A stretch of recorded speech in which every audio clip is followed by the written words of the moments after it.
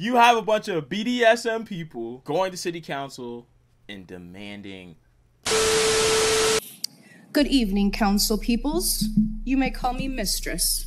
I propose that you build a dungeon created for us by us, the taxpayers and voting citizens. What'd you think of the video?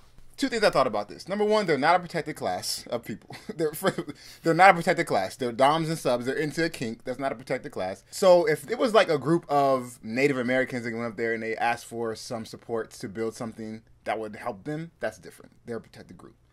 For a group of people to come up there in some latex and want to proposition the city council to invest two hundred and fifty thousand dollars into building a sex room, I propose that you use a quarter of that mill to support DOMs and subs in Broward County.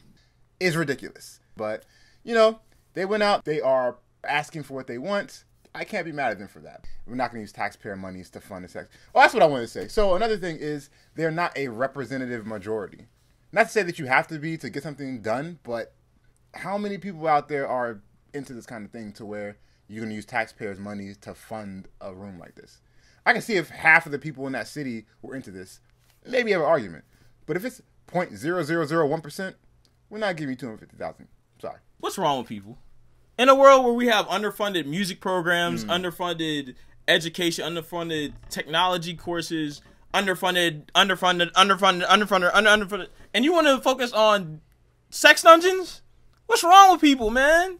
This is crazy. It's kinky. It is kinky. It is kinky. Okay. And the fact that they're they're dressed up as robot people, I'm like, what in the world? Is this Star Trek?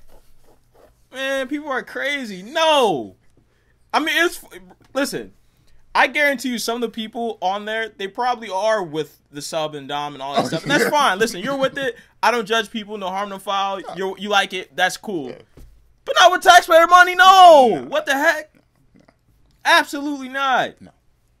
Bro, that's crazy. But you're right, though. Probably the people, all That's that. probably all of them. Yeah, probably everybody sitting Yeah. on that, uh, that.